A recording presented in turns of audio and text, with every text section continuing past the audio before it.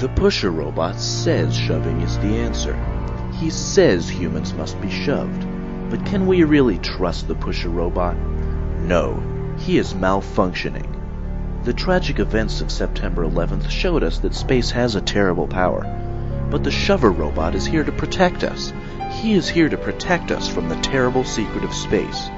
The shover robot knows that pushing is the answer. Humans must be pushed. They must go down the stairs. You can trust the shover robot. I am the shover robot and I approve this message.